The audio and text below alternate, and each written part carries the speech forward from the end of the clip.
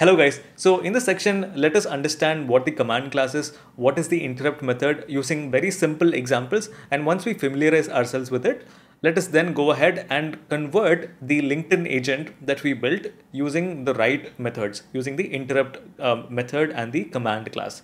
Alright, so first in this section, let us look at what is the command class, what is the utility of it. So what this command class allows us to do is to create edgeless workflows and this is how it works. Okay so let's say this is a node. This is a very simple node. So instead of you know just updating the state as we've been doing so far what we can do is we can return this command class and this takes two keyword parameters. So in this go to keyword parameter we can just specify go to this particular node right after this node is executed. Okay so you can see that the next node to transition to that is as simple as that. But what if you know a node needs to update the state as well so, so far every node that we've been writing, it also updates a state, right? So we can also specify the same thing here as well. So right here we have the update keyword parameter. Inside of this, we pass in the same object. This is very, very, this is no different to what we've been doing so far, which is uh, just returning the state object, right? So if we return a response right here, it gets appended to the messages list. Very simple.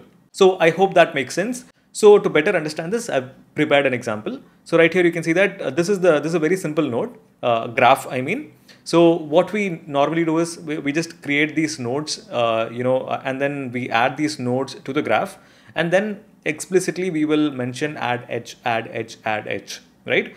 But this time we are going to do the same thing using the command uh, class without using any of these, you know, explicit add edge methods that we've been using so far.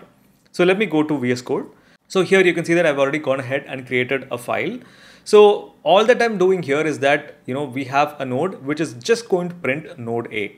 Okay. So we're not going to be, you know, making any complicated LLM calls. We're just trying to understand what the command class does. Right. So we have a node A, we're printing node A. And then right after node A, what do we want to do? We want to go to node B. Right. So that is exactly what we're doing. We're returning the command class. We're saying go to node B next at the same time, I'm, also, you know, just to better drive the point home, I'm also going to update the state as well, just to show you that that is also possible. So right here in the state uh, schema, you can see that we have something called text right here, right? So I'm just basically just going to take the text and then I'm appending this letter A to it. All right. So right after the node A is going to be executed, we are going to go to node B. Node B does the same thing. It's printing it and then it is saying go to node C next. And this time before we go to node C, we are also going to append this letter to the state.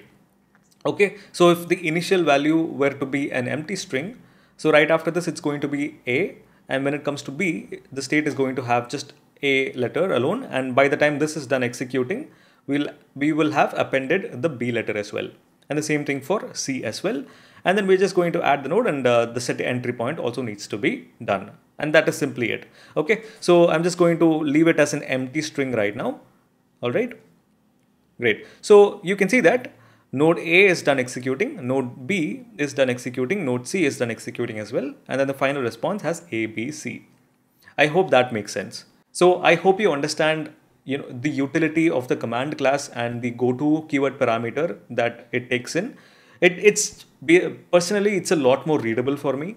Uh, it gives me a lot more flexibility on you know the logic that I put inside of my nodes.